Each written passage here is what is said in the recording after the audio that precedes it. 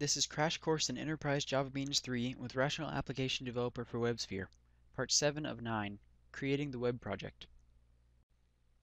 Okay, you've come a long way, and now it's time to finally use this EJB that you created in a web project. And so you'll get to actually see the results of your work. We're going to, by the end of this section, have a working uh, web web page which counts views. So every time you refresh the web page, the view counter is increased and you can see the number of views on the page. So the first step is of course to create a new web project. So again, right click the blank space, highlight new, and click dynamic web project. We don't want a static one.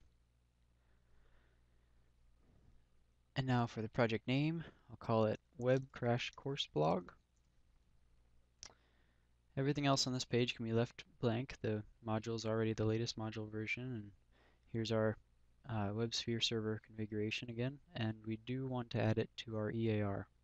So our, our EAR, again, remember, packages up kind of all the separate packages that are part of one working project. So it'll be our this web project, it'll be our EJB view counter, and, and any other EJBs you create all need to be packaged up into one EAR.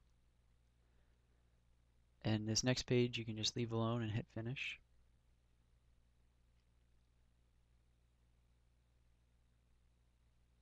Now it asks you if you'd like to open the web perspective and uh, we'll just leave it at no. Uh, the web perspective adds a couple extra panes that can help in some cases, but we'll stay in the Java EE perspective. Uh, so you see that it opened up another help page, and you can pause this video at this time and look through these topics or just close this. And then let's look through our web project. So there's a number of resources. Uh, this first one is kind of a configuration for your web page. Then we have our Java resources, any JavaScript support libraries, uh, some security and diagram, and our web content, which is where our pages will actually reside um, as well as our servlets will be here inside Java resources. But if we right click the project name, Web Crash Course Blog, highlight new, you can see all the different types of new files and things you can create, and these will automatically be put in their correct places. So for example, right now we're going to create a new web page, and you'll see this, this new web page will be added to web content, the web content folder automatically for you. So go ahead and click new web page. As our file name, I'll just call it first blog post, and we want .jsp. That is a Java server page, and it's it's a page with uh, server-side content, as our view count will be. And then Rational Application Developer conveniently provides some neat page templates. So if you look through these different sample templates, you may want to look for other designs, but I'm just going to choose this family A, no navigation, and through these. There's a blue one and a gray one and a green one. And they're just some kind of starter templates to, to get you going with your website. So I'll, I'll choose green. And everything else is fine, so just hit finish.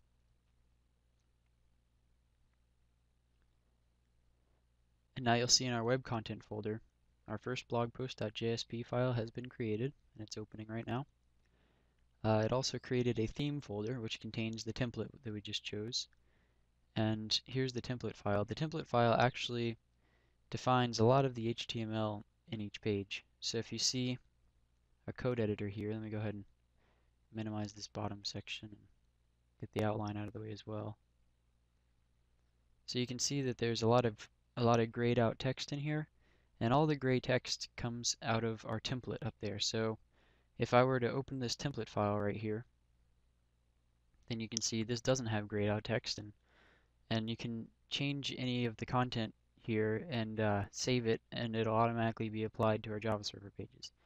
So for example, if you wanted to change this image up here, you know, you could replace it with your own custom logo and save and it would automatically be updated on all the Java server pages that depend on this template. But for now, we'll just stick to this basic page. I don't have a logo to put in there. Um, and start with our title bar, so I'll just add some spaces and first blog post from EJB3 crash course demo blog. And then our content goes up here. There's a nice, what you see is what you get type editor up here.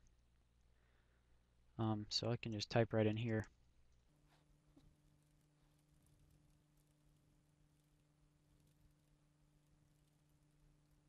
So I just typed a little sentence right there and and then down here I'm going to put a little placeholder that we'll fill in later and I'll just say view count here. And so a little bit later when we when we put in the code to actually show the view count, I'll just select this right here and replace it with the view count code. Uh, but for now we actually need a to add a servlet.